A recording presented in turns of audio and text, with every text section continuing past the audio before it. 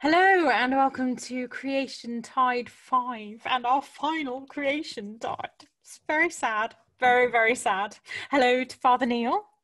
Hello, everybody. And hello to Reverend Marcus. We're both wearing primary colours today, aren't we? Like, Oh, we are. We're doing quite a good job between you. Yeah, I'm sorry, I went with blue, um, Yeah. but it's a very dark blue. You can't really see it. this is because it's am- we're still in amber. Is that So what- I'm still in you're amber lockdown. So I'm, I'm wearing it to remind people. Missing that- looking forward to green, you know.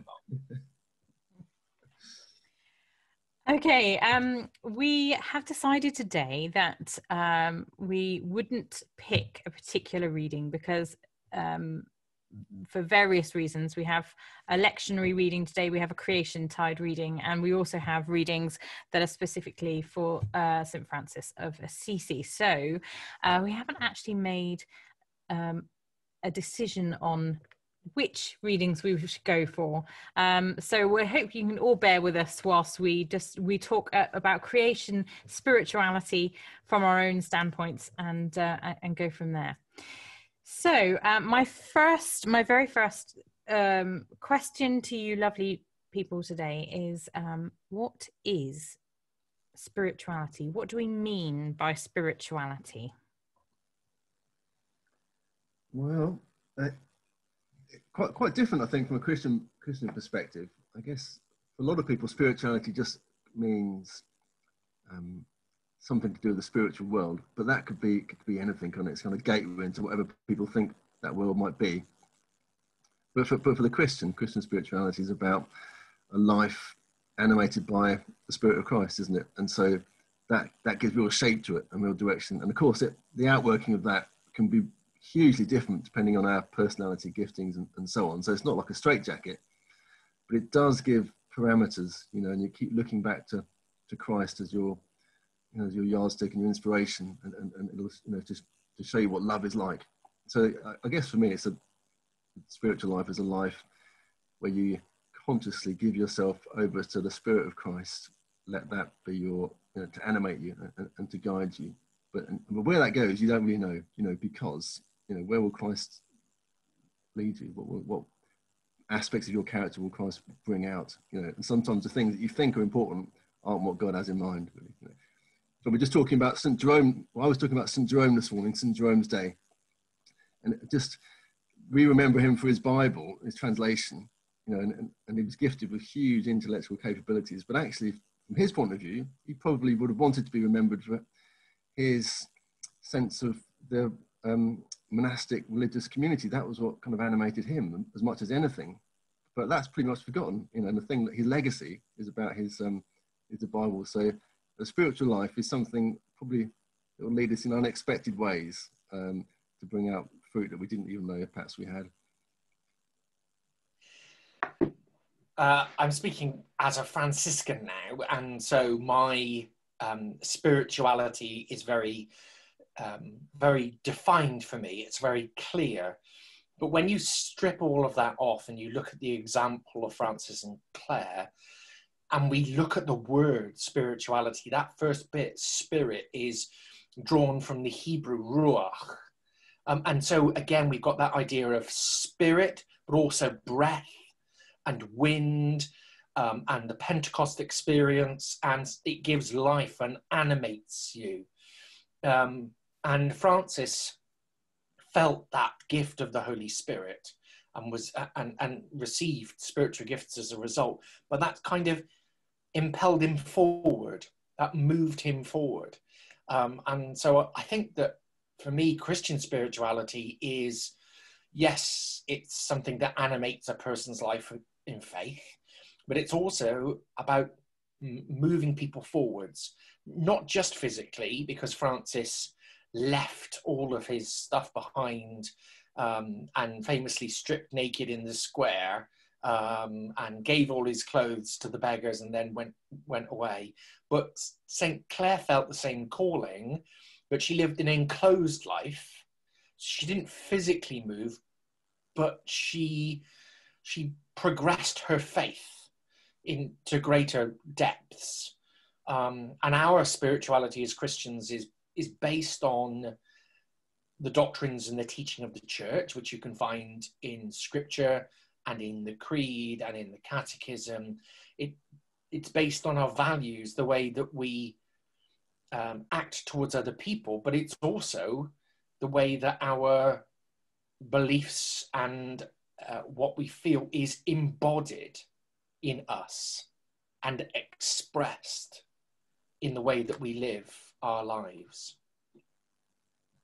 Mm.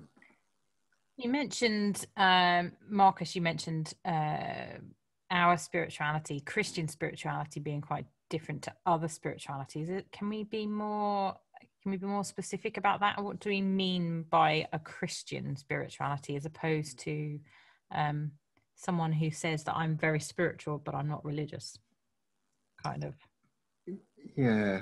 Uh, well, um, I mean, there'll be a lot of similarities. You know, there, there really will. And, and um, when you look at the core of a lot of the world world, faiths, you know, and uh, there's lots of similarities. I wouldn't want to sort of pretend that there's some there's huge differences when, when, there are, you know, because I think love of neighbour runs through most of the world's religions, you know, and, um, but at the same time, there, there, are there are points of departure. So for a Christian spirituality, um, well, it has implications both for the in the human world and I think and our relationship with the natural world as well. So within the human world, you know, it's a question of really forget, you know, as we talked about last week, um, in that passage in Philippians, forgetting oneself, but you know, being being a servant, really, you know, absolutely not trying to exalt yourself, leaving that to God, you know, absolutely just serving Christ, serving God, and letting God doing the building and, and the exalting.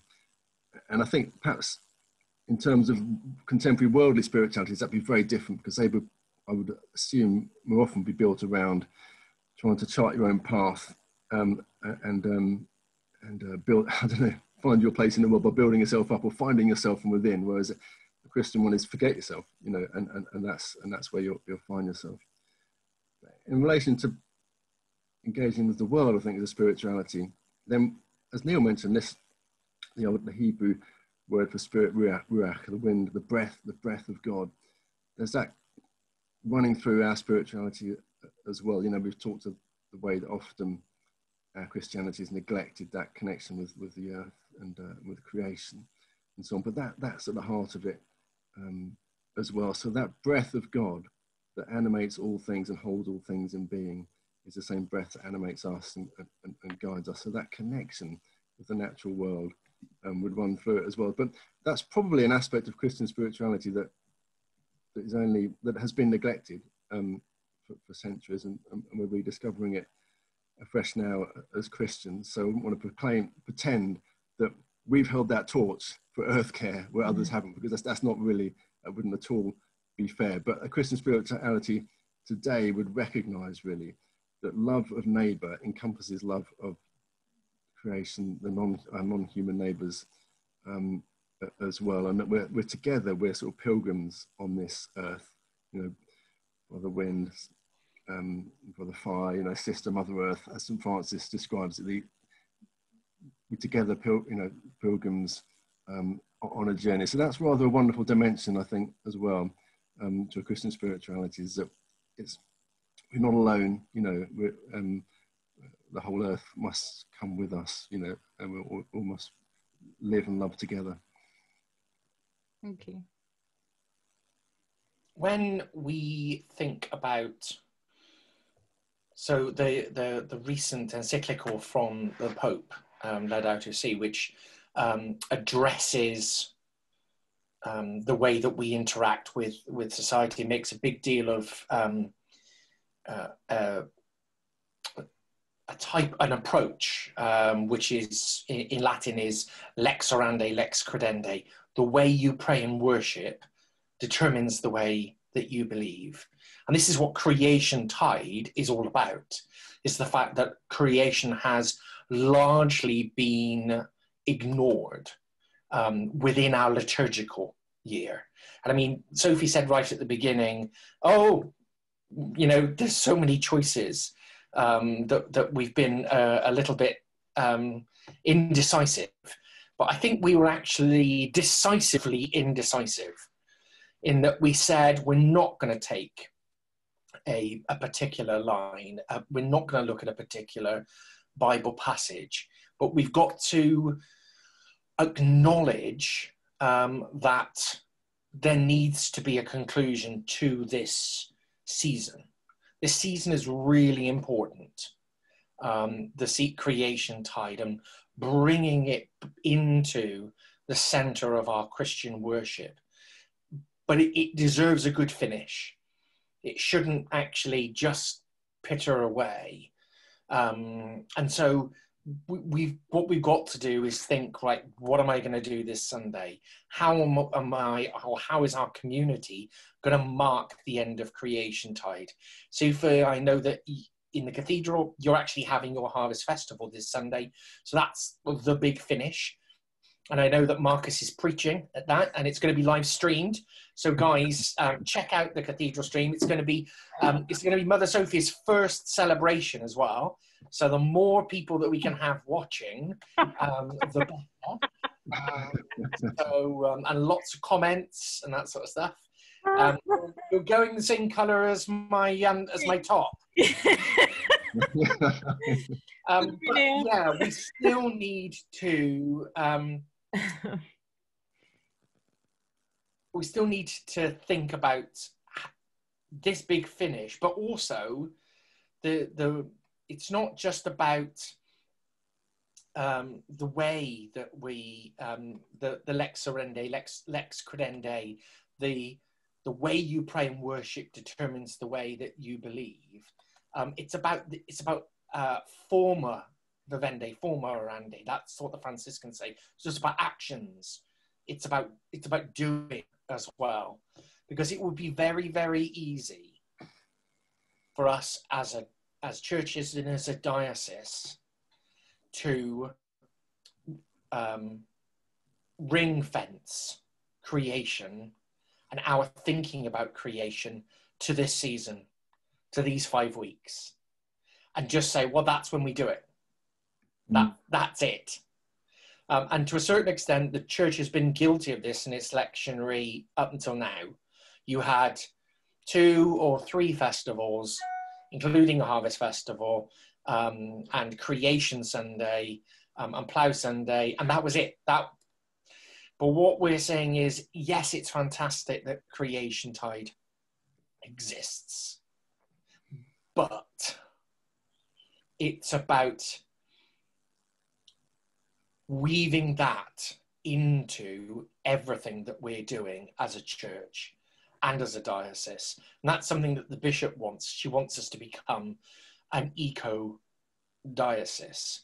So don't think about this Sunday as a finish. Think about this Sunday as a springboard.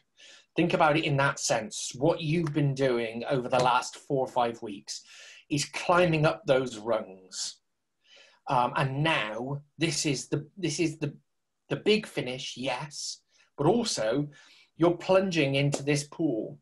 Um, you're plunging into creation itself and living and working and praying alongside everything in creation.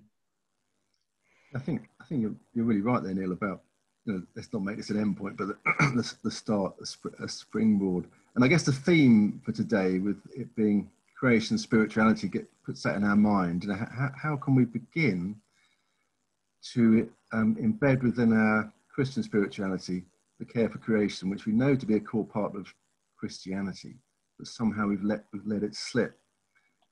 And there's no, there's no one way to do that, which I think is exciting. You know, um, rather than thinking, oh no, there's where's where's the passage in Paul that says this is what the you know, an earth care spirituality will, will look like. Um, there are lots of different strands, but, but, but that suits different people and personalities different churches and denominations, possibly. I think that's, that's a strength. So, I mean, if we're trying to construct a, a creation, an earth care, creation care spirituality, and we can take different, different themes from the Bible. So we could, we could, we could say, take a, a wisdom theme, you know, think, looking at proverbs or whatever you know dig a hole and you're going to fall in it you know it's not hard to to see how you know if we keep um, pillaging the earth, it's, it's going it's going to come come and uh, cause us trouble. You know, and so we can come from that angle, sort of wisdom and, and um, you know, and, and perhaps learn from ecology and those sorts of disciplines. So, so that's fruitful. I mean, th thinking about St. Paul, I mean, I guess that this, this always commends itself to me is there's amazing verses in Romans 8. So we could take it, we could take a sort of spirituality that takes its lead from the liberation of creation, you know, setting free, you know, somehow that it's been subjected to futility and trouble and um, and it's been crossed from being its expressing the love of God and sort of singing as it was created to do because of our sort of abuse of it. And it's waiting for us to sort of, for goodness sake, people live as sons of God so that we can live as God's creation too. So that liberation, I think is rather powerful because it also ties in with our, our need for liberation, which Christ brings from all that ails us, you know, whatever it might be, our, our sinfulness and, the, and so on. So I, I, that, that's, that's a, a, strand that would appeal to me. Or you can take a sort of a wider view, I think, creation spirituality, and maybe think about um, the way Pope Francis talks about our common home, you know, so like the household of God, you know, would be a, re a really good way of trying to frame our response to environmental things because, you know, we're all part of the same family, living in the same house. And I think we can include in our family um, the non-human creation as well, our sisters and brothers you know, we share the earth with. And but all, the household, you've got a, you've got a, you know, you've got a garden, you've got a, your land that you grow your food on. You've got human relationships have got to be at peace, haven't they, in a family for it to work, recognizing our differences. But also, there's the whole economy, the whole household economy, you know, and, and as justice has got to be. So it includes all those things. There are different ways of framing your, your spirituality, and there's no right one right way, I think. But the only right thing is that we have to try and, and, and achieve that task, really. The Church of England has just released the new book, um, which has some liturgical resources. Um, it's it's not everything that I hoped it would be. It's not as comprehensive as I hoped it would be, um, but it it does make a really really interesting point, which is the fact that Creation Tide, which runs from the first of September to the fourth of October, has within the middle of it um, Holy Cross Day, the feast of the exaltation of, of the cross. Um, and so, right in the middle of this creation season, we have Christ's redemptive sacrifice for all of creation. And when we think about spirituality and the distinctiveness between Christian spirituality and, and other forms of spirituality, it's that. It's, it's Christ's redemption on the cross mm. for all to save us from our sins and his resurrection and the promise to eternal life. So, yes, I don't know whether it was designed or whether it was accidental, but um, the, this new book, which I've just finished reading, is suggesting that when we do Creation Tide, we also make a big deal as part of Creation Tide of this Feast of the Holy Cross. Um, and I think that's a really interesting thing to bring and to explore maybe next year, next Creation time, when hopefully we'll be joining you again for another sequence of of these broadcasts. If people can yeah. wait that long, Neil, you know, it's hard to hard to imagine that their, their patience would stretch. Well, it just so happens, it just so happens whilst you're on this that I think we've agreed, haven't they? We are going to meet once a month to do one of these videos. So for all of our adoring fans who can't wait till this time next year, you're yeah. all in luck. Yeah. Great. Great. so we'll be bringing you monthly uh, creation resources linked into the Church in Wales lectionary linked into wider things that are going on. Um, International Water Day, for example, um, and, and things like this. Uh, we'll be giving you little tidbits of activities and resources um, that you can um, access to help your congregation not just to become uh, an eco church, but to actually start to think about the way that you live your life as part of God's incarnated creation. Um, and throwing uh, a little bit down, down the screen, of course, we've also got this fantastic resource in the person of the Reverend Marcus Zipperlen, who is our diocesan He's creation. not that way on my screen. Yeah, so he's he's he's there on my screen. Oh, is he? Yeah, and I'm Okay, recording. well, somewhere, that- somewhere in the broadcast, Marcus is there. Yeah. Um, so you don't have to think um, about, oh, right, I've got to wait for the next podcast. Um, Marcus um, is, I'm going to throw him to the wolves now. yeah. Marcus is available. Oh, Um, and he has a group, as well. there is a diocesan creation care group as well um, behind him. So uh, reach out, reach out um, and ask for ideas. But you know what would be fantastic? If you reached out and shared ideas with us of what you're Mm. doing, that we can then put on next month's podcast um, and we can share that practice um, with other people. It doesn't have to be a big grand gesture, particularly as we are in lockdown at the moment. Um, just the little things that you do that you can share with others, the little things add up to making a big difference. Well, that's, that's really true, Neil. It's, it's, so encouraging to us, isn't it, to see what people are doing and implementing in, in, in their areas. You know, I mean, so just before we started recording, Sophie was describing some hopes and plans that she's got, you know, for a cathedral really, so to maybe create some sort of garden space and you know, place to sort of nurture creation and, and create a beautiful place for the community too. So, um, well, you know, as if that moves to fruition, we can talk about that, can't we? But it's just lovely to hear, really lovely to hear. And then you were talking, Neil, about your meadow, hopefully in St. St. Mary's In or wildflower. yeah, next year cloister. we've got this idea for the wildflower cloister. Um, Yeah, and I've, I've got a few ideas. Should I mention it on air? Because I haven't mentioned to the PCC yet, but um, I, I quite fancy growing some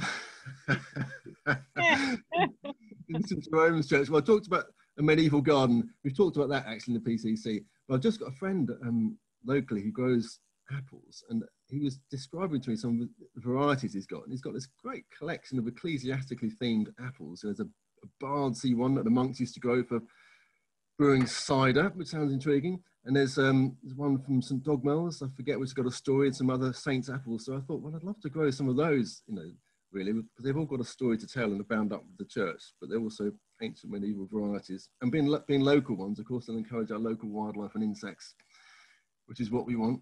So, um, so maybe, well, who, who knows? Maybe in a year we can we can see some seedlings in the ground. That would be nice. And before long, you'll be having an ecclesiastical apple pie competition. Oh, That's that's an idea. Yeah, Yeah. there's one. But not, and then also after seven in the evening, there'll be ecclesiastical cider competition. well, the hoping will complement the pie one. You know. But I like Um, what you said, Neil, about. Um, oh, sorry. So Neil talked about this um, Holy Cross Day. When does that fall again, Neil? The, uh, 14th of September. so it's- Is so it's in the middle. That, Exaltation that's, of that the is Holy fantastic. I hadn't quite realised that. That's ab- what a place to have it. That is just such a gift, isn't it? Because you know, S- as St Paul writes in Colossians, you know, that when he talks about Christ being for, for all of creation, the firstborn of all creation, all things made for him and through him, and, and he's going to redeem all things by making peace for the blood of his cross. You know, that's that's the heart of it, isn't it? Is that Christ died for, you know, so loved the world that he gave his life, not not just us us humans. Possibly that's at the core of a Christian spirituality as well, is that this sense that Christ unifies all, you know, all things. It's not just about us and our destination, but there's no redemption for us unless the earth also is healed and, and united in the blood of Christ's cross. That's pretty special. That's quite unique, I think, amongst the different earth care spiritualities I've come across when I've been reading, you know, from other traditions. I um I was thinking about your tapestry that you mentioned before we started filming, Marcus, and um, I was thinking how how tapestries are woven together. And um, I'm I'm a creative kind of person, so the the thought of weaving spirituality into everything that we do, including uh, creation, uh, our our efforts to to look after our environment, um, our efforts to do anything that we do, our spirituality has to be a part of that.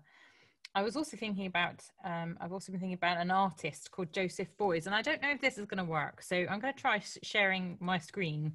I don't know if that's going to work on the recording. So we'll give it a go. And okay. uh, I found a picture um, of a piece of artwork that this chap did. And I don't know if you guys know this chap. Um, I don't know if you can see it. I don't know if it's going to get any bigger. Can Can you still see it on the recording or not? Yeah, yeah. Yeah. You normally can. Awesome.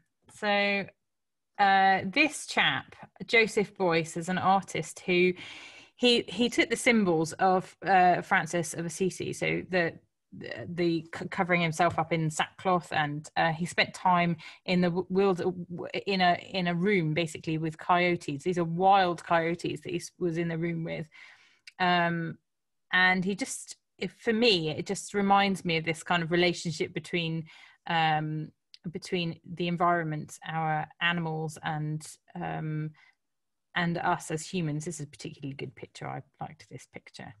Um, and they, as I was saying, I, I, don't know how well it's going to show up on the recording, but um, it's particularly poignant for me. I thought this kind of image of this man who he took the sim the symbolism as as, as I say, and he just spent he spent days in this room with these animals, and eventually, by the time I don't know if there's still recordings of it, but by the time he'd finished, these animals had come to be part of they were he was part of the pack. He was no longer a stranger. He had become part of that that um, part of creation. And um, for me that was really symbolic of of what we've been talking about over the last five weeks. It's just mm. this, this idea that actually humans and creation can work together and we do we should work together.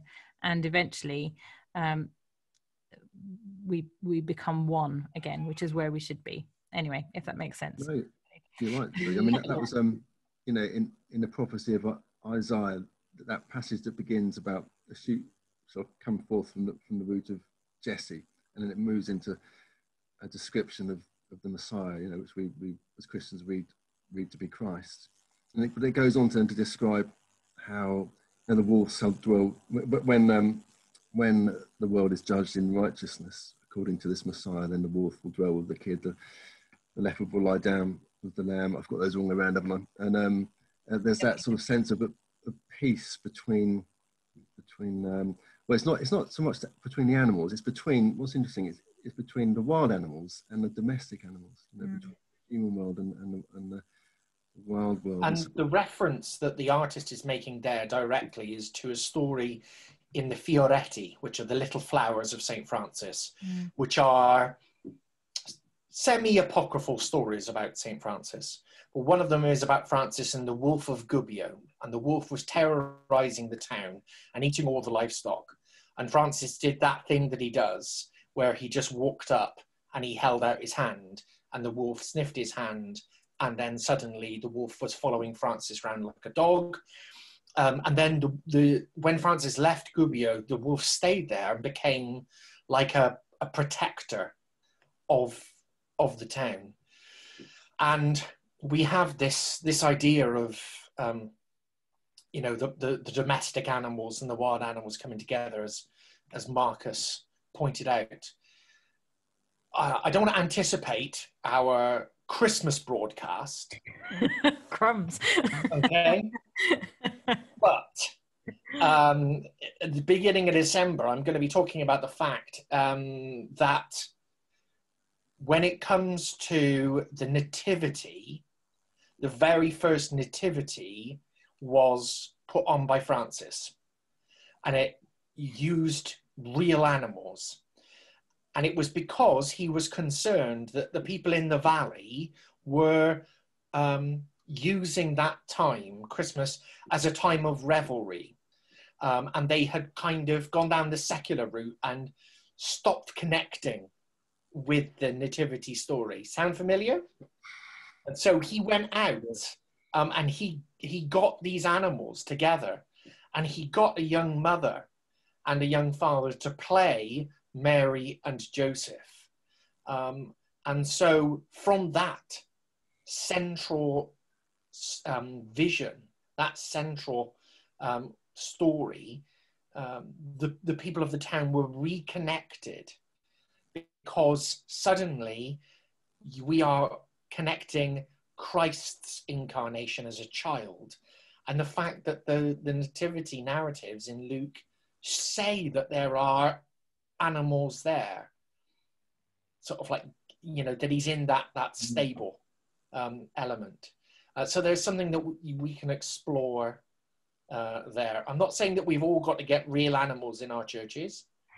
Um, although this Sunday, as the the finish to creation season, um, I'm leading a pet service um, in the yard in uh, Wiston, um, in St. Mary Magdalene's Wiston. Um, it's not going to be live streamed, but a YouTube video of it will be on the Daugleddau LMA uh, Facebook page um, and, and the YouTube um, channel as well. So um, that's so that we can edit it slightly because, you know, you remember the famous Blue Peter incident? um, so yeah, we don't we don't want to have any animal genitals um, being live streamed on. Um, so you've, gone, you've, gone, redder than you were before. Oh dear! mentioned animal genitals um, on the uh, web page. So uh, yeah, we're gonna we're gonna do some editing and, and, that sort of stuff. But that's that's something that you could explore for next year. Um, is a pet service, is an animal service. It really brings people in, particularly mm. um, the youngsters. And in the past, I've blessed Woody the woodlouse um, because you know they didn't have any uh, pets in the household, so they went out to the back garden and just picked up a, a, flower pot and collected some of the woodlice and put it put them in a jar um, with some compost and that sort of stuff. Brought them to church. So I blessed Woody the woodlouse, and then they he was taken back and put back in the garden. Um, all sorts of options available to you.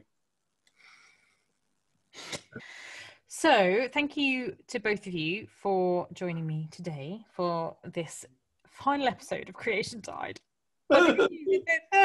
the good news is, the good news is, we will be back next month Hurrah! Hurrah! Hurrah! Um, before we go, though, if you have any ideas or resources or thoughts that perhaps you'd like us to share with the rest of the diocese on this Creation Tide video and podcast, perhaps you would like to send them to Marcus. And I'm going to hand over to Marcus now, and he's going to give you details as, as to how you might do that. Oh, right. I guess um, just uh, send emails with the best way, isn't it? Um, uh, Marcus Zipperlen at cinw.org.uk. CINW for, for Church in Wales, you know. Um, anyway, any clergy will have that uh, on their email. Uh, otherwise, give me a ring 01437 899 548 and we can pick it up that way. But yeah, it'd be lovely to hear, hear anything that's going on. We're great encouragement, I think, as well. And if you see any of us around, if you you know if you happen to you happen to bump into us in Tesco and you've got a burning idea about something you're going to do in church with your courgettes or with your apples or whatever, then yeah, just stop us and say hello. Tell us that you watch the the uh, the podcast, um, and um, yeah, help us to feedback to others. Hopefully, we can grow a community um, in this diocese. Mm. Thank you, Neil. I'll put the details, Marcus's details, and everybody else's details at the end of this video. So if you've got any ideas or thoughts, then you can get be in contact with us. Um, I'll also put all of the other resources that we've mentioned at the end of this video today as well.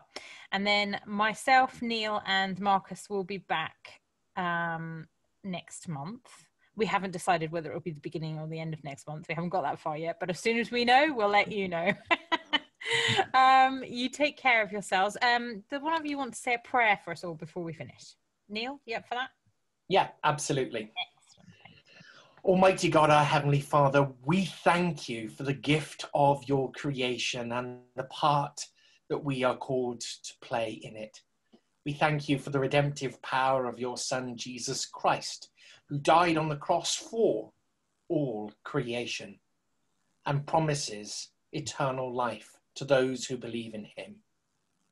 We thank you for the opportunity that we've had to come together over these past five weeks to share with good humor and with insight words from scripture, from tradition, and from our practice.